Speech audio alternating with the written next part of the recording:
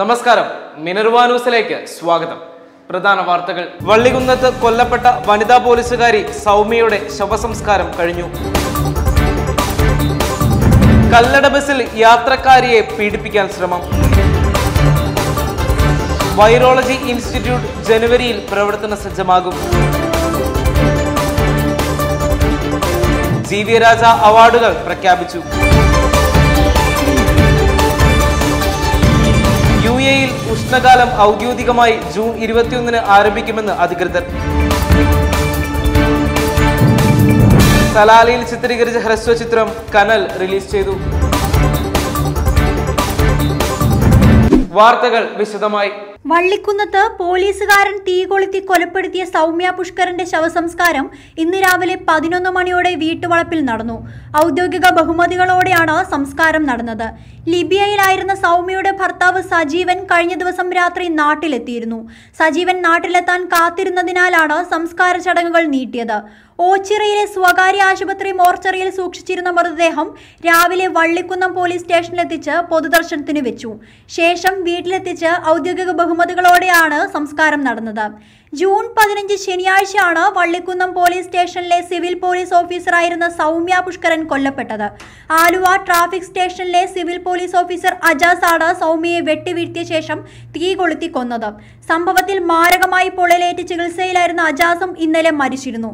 ആലപ്പുഴയിൽ നിന്നും Athira Murali Minerva news. Kallada ബസ്സിൽ യാത്രക്കാരിയെ പീഡിപ്പിക്കാൻ ശ്രമം. കല്ലട ബസ്സിൽ യാത്രക്കാരിയെ ലൈംഗികമായി പീഡിപ്പിക്കാൻ ശ്രമിച്ചതായി പരാതി. കണ്ണൂരിൽ നിന്നും പുറപ്പെട്ട ബസ് കോഴിക്കോട് എത്തിയപ്പോഴാണ് യുവതിയെ പീഡിപ്പിക്കാൻ ശ്രമമുണ്ടായത്. യുവതി ബഹളം വെച്ചതിനെ തുടർന്ന് പുലർച്ചെ രണ്ടിന് മറ്റ് യാത്രക്കാരാണ് പ്രതിയെ പിടികൂടി പോലീസിന് കൈമാറിയത്. സംഭവത്തിൽ ബസ്സിലെ ഡ്രൈവറെ പോലീസ് അറസ്റ്റ് ചെയ്തു. ബസിന്റെ രണ്ടാം ഡ്രൈവർ ജോൺസൺ ജോസഫാണ് പ്രതി. ബസ് മലപ്പുറം തേഞ്ഞിപ്പാലത്ത് വെച്ച് പോലീസ് തടയുകയായിരുന്നു. നേരത്തെ ബസ്സിലെ യാത്രക്കാരെ ആക്രമിക്കാൻ ശ്രമിച്ചതിന്റെ പേരിൽ ഏറെ ആരോപണം നേരിട്ട സുരേഷ് കല്ലട ബസ് ഗ്രൂപ്പിന്റെ ഉടമസ്ഥതയിലുള്ളതാണ് ബസ്.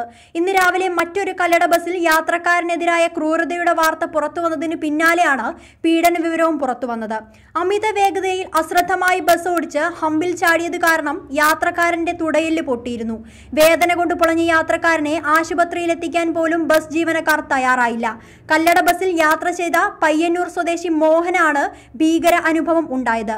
മലപ്പുറത്ത് നിന്നും Athira Murali Minerva news. Virology institute തിരുവനന്തപുരത്ത് ജനുവരിയിൽ പ്രവർത്തന സജ്ജമാകും.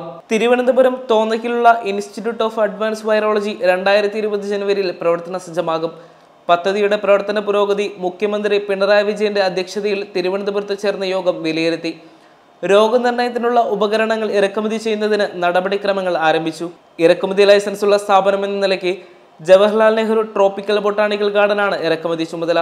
ആറു മാസത്തിനുള്ളിൽ രോഗനിർണയ സൗകര്യം വൈറോളജി ഇൻസ്റ്റിറ്റ്യൂട്ടിൽ ലഭ്യമാകുമെന്നാണ് പ്രതീക്ഷ. പ്രഗത്ഭ ശാസ്ത്രജ്ഞന്മാർ ഉൾപ്പെടെയുള്ളവരുടെ നിയമനം വേഗത്തിലാക്കാനും യോഗം തീരുമാനിച്ചു.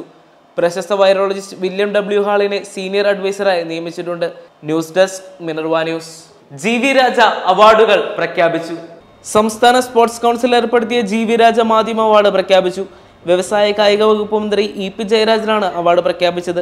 നേരത്തെ കായിക പ്രതിഭകൾക്കും മാധ്യമ രംഗത്തെ സ്പോർട്സ് രംഗത്തെ പ്രമുഖർക്കും ഒന്നിച്ചാണ് ഈ അവാർഡ് പ്രഖ്യാപിക്കാറ്. എന്നാൽ അത് രണ്ടായി പ്രഖ്യാപിക്കുന്നതാണ് നല്ലത് എന്നുള്ള മാധ്യമ സുഹൃത്തുക്കളുടെ അഭിപ്രായങ്ങൾ പരിഗണിച്ചുകൊണ്ട് ഇപ്പോൾ മാധ്യമ രംഗത്തെ അവാർഡ് പ്രഖ്യാപിക്കാനാണ് ഉദ്ദേശിക്കുന്നത്.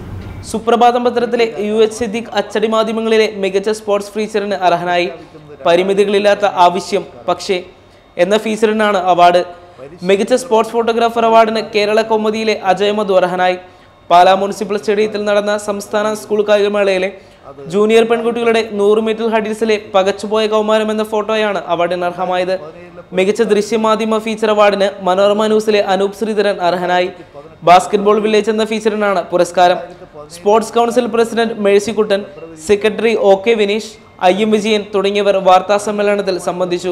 മ്യൂണിക് ഒളിമ്പിക്സിൽ ഇന്ത്യയ്ക്ക് വെങ്കലം നേടിത്തന്ന ഹോക്കി ടീമിൽ അംഗമായിരുന്ന മലയാളി താരം മാനുവൽ ഫെഡറിക്കിന് സ്വന്തമായി വീടില്ലാത്തതിനാൽ പയ്യാമ്പലത്തിനടുത്ത് അഞ്ചു സെന്റ് ഭൂമിയിൽ ഇരുന്നില വീട് വെച്ച് നൽകിയതായും മന്ത്രി അറിയിച്ചു.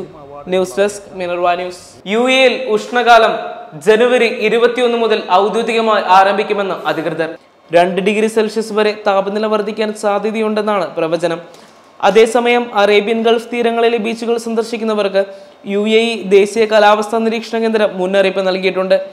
ശക്തമായ കാറ്റും പ്രക്ഷുബ്ധമായ തിരമാലകൾ ഉണ്ടാകുമെന്നും കടലിൽ പോകുന്നവരും ബീച്ചുകൾ സന്ദർശിക്കുന്നവരും ജാഗ്രത പാലിക്കണമെന്നും അധികൃതർ അറിയിച്ചു. മണിക്കൂറിൽ അൻപത്തഞ്ച് കിലോമീറ്റർ വരെ വേഗത്തിൽ കാറ്റടിക്കാൻ സാധ്യതയുണ്ടെന്നാണ് പ്രവചനം. ആറ് മുതൽ എട്ടടി വരെ ഉയരത്തിൽ തിരയടിക്കാൻ സാധ്യതയുണ്ട്. ഇത് പരമാവധി പത്തടി വരെ ഉയർന്നേക്കാം. അബുദാബിയിലും റാസൽ ഖൈമയിലും മുപ്പത്തൊമ്പത് ഡിഗ്രി വരെയും ദുബായിലും ഷാർജയിലും അജ്മനിലും ഉമ്മുൽ ഗുബൈനിലും മുപ്പത്തെട്ട് ഡിഗ്രി വരെയും താപനില ഉയരും. മുപ്പത്തിയാറ് ഡിഗ്രി ആയിരിക്കും ഫുജൈറയിലെ ഉയർന്ന താപനില.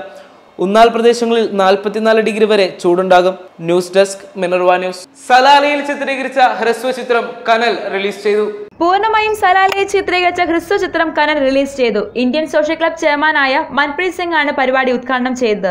പ്രവാസ ജീവിതത്തിനൊടുക്കത്തിൽ രോഗങ്ങൾ മാത്രം ബാക്കിയാക്കി തിരിച്ചുവരുന്ന സ്വയം കരുതൽ മറന്നുപോയ ഒരു അച്ഛൻ മകന്റെ ആശ്രിതനായി ജീവിക്കുമ്പോൾ ഉണ്ടാകുന്ന ആത്മസംഘർഷത്തിന്റെ കഥ കൂടിയാണ് കനൽ പറയുന്നത്.